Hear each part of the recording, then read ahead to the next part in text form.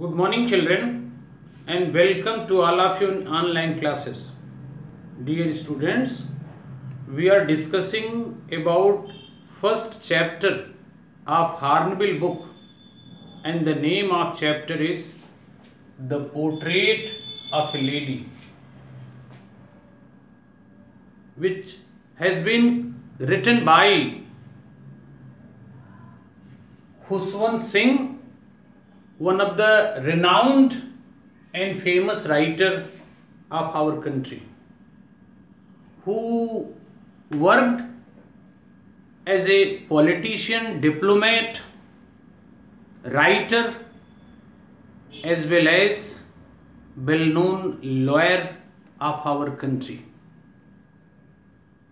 Dear students in previous video we discussed about the first phase of Arthur's relationship with his grandmother. In that, dear students, we discussed about the physical appearance of Khushwant Singh's grandmother, how she was looking, what was her routine, how she used to spend her time we have also discussed dear students about the physical appearance of Khushwant Singh's grandfather who was no more and his picture was hanging above the mantelpiece in the drawing room. We discussed and described about his physical appearance that how he was looking in that portrait hanging above the mantelpiece we were discussing dear students that grandfather of Khushwant Singh was uh, more than 100 years. And and having long white beard covered the best part of his chest. All these things we discussed we discussed dear students that how Arthur was close to his grandmother. And I told you on that day in previous video that Arthur means Khushwant Singh and his grandmother they were good friends. They were close friends it, it was because they spent most of the time together. As their parents shifted in the city, parents of Khushwant Singh, and he was living with his grandmother. Grandmother used to recite the prayers loudly in the morning time while she was helping the writer in getting ready for the school the intention of grandmother was that writer could learn and writer could memorize. But as I have told you, the writer loved the voice of his grandmother. But he never took pain to memorize and to learn the prayers recited by his grandmother. Or after that, they used to go village school where the priest was teaching them. I told you. Or how they were studying we have to discuss today. My grandfather grandmother always went to school with me because the school was attached to the temple. Priest taught us alphabets and morning prayers while children sitting in the rows on either side of the veranda singing the alphabets and prayer in a chorus. So what I want to tell you, the writer was going to that school, village school with his grandmother or that was in the campus of that uh, temple grandmother used to go inside the temple where she used to read the religious books and used to do prayers. Or another side the writer used to sit in veranda and priest used to teach him and other children. They used to recite the prayers. Children used to recite the prayers and songs in group in chorus so this uh, process was going on. One side grandmother was uh, suppose praying in the temple and reading the religious book scriptures. Or another side the writer used to study under the guidance of that priest who used to teach the writer and other children or every day after the completion of school dear students when we both finished we would walk back together. This time the village dogs or every day after the completion of their school of when the school got over both grandmother and writer used to return back come together or then they were welcomed by the dogs at the temple gate. Because every day it was the habit and routine of grandmother she used to throw and give some chapatis to the stray dogs. I have told you one is thick chapati with butter and and and sugar she used to give to the writer Khushwant Singh as a breakfast in the morning and some stale chapatis she used to take with her or that she was throwing at the temple gate while she was returning to home. So this was the routine or this is the first phase of their relationship or the dogs were fighting to one another for getting chapatis. So this is given in the first phase. In this way, writer spent almost time, most of the time with his grandmother in the first phase or he was very close to his grandmother. He was good friend of his grandmother.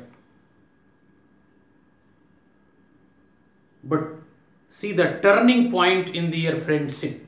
That is the phase second. When my parents comfortably settled, here is given, they sent us, they sent for us. Means when the parents of Khushwant Singh, they were comfortably settled, they were well settled in city, so they called Khushwant Singh and his grandmother. Our writer Khushwant Singh is telling that was the turning point in our friendship, in their friendship, in the friendship of Khushwant Singh and his grandmother. Although we shared the same room, but they were getting less chance to talk to each other. Writer got the admission, Khushwant Singh in the second phase, dear students, he got the admission in English medium school and going by motor bus. I used to go in English school in a motor bus. This time he was not accompanied by his grandmother. This time he was going in motor bus. This time he was not taught by the priest of village. This time he was taught by the teachers of English school. So this was the difference in first phase and second phase. This time grandmother was not going with him and there were or this time the dogs were not suppose welcoming them at the time of uh, at the time when they were returning to home there were no dogs in the streets and she took so instead of feeding dogs here she started new thing new tradition new trend here in city she started feeding sparrows. In first phase we have seen that she was throwing and feeding the dogs at the temple gate every day. Or in second phase we are seeing that she was feeding, she started feeding sparrows in the city house. Many years passed. As the years rolled by, we saw less each other. She sometimes, she sometimes, uh, for sometimes she continued to wake up the writer to get ready for the school. Or when the writer used to return back from the school, she used to inquire what the teacher had, has, had taught him.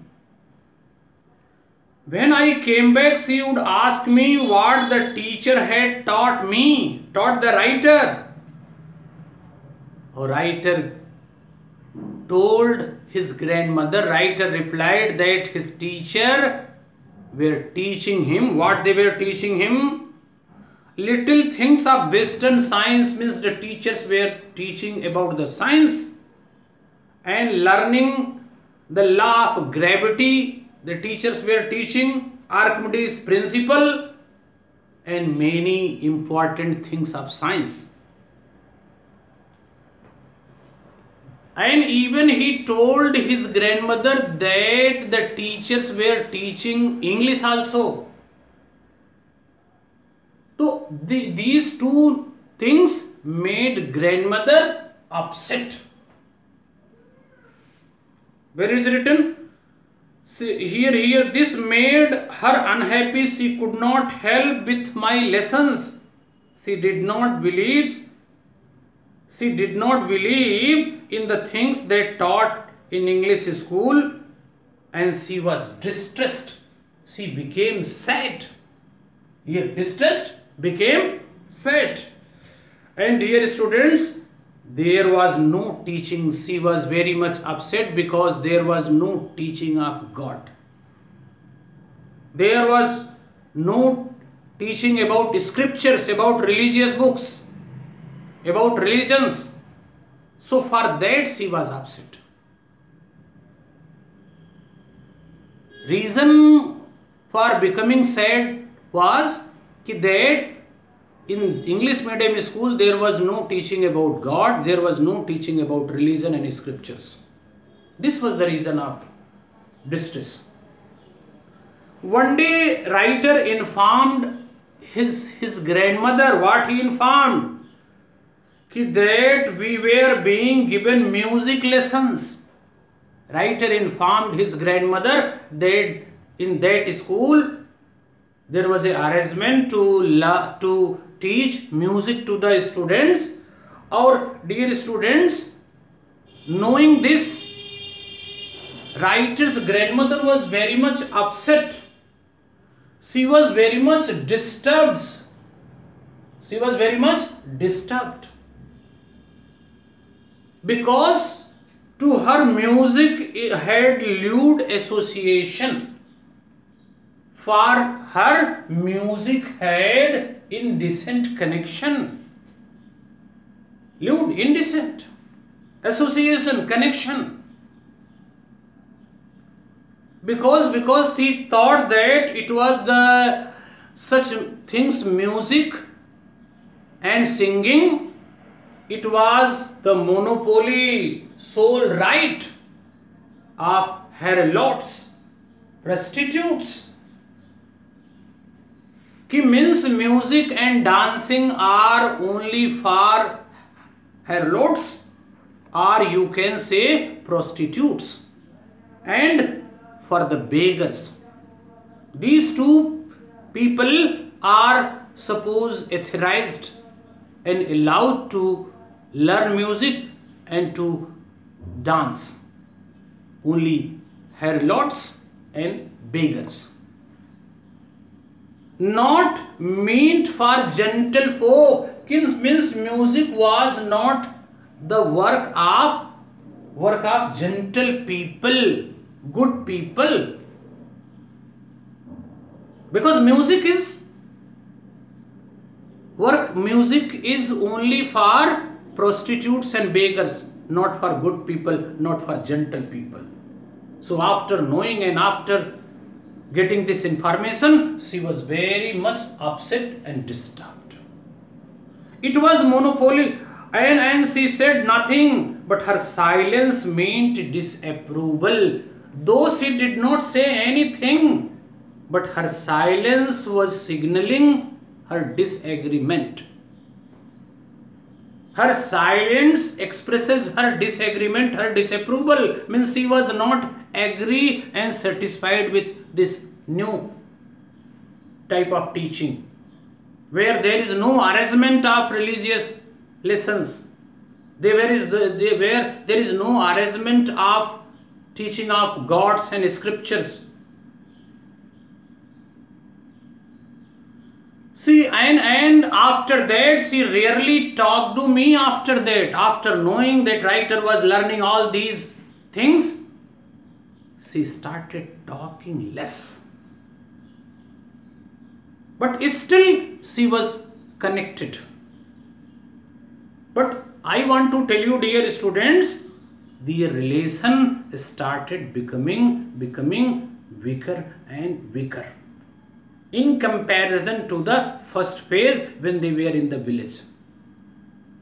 Or when I went to in, in university, third phase dear students, when I went to university, I was given to a room of my own when the writer got admission in third phase of their relationship in university after completing his school education, when he got admission in university, a separate room was given to the writer.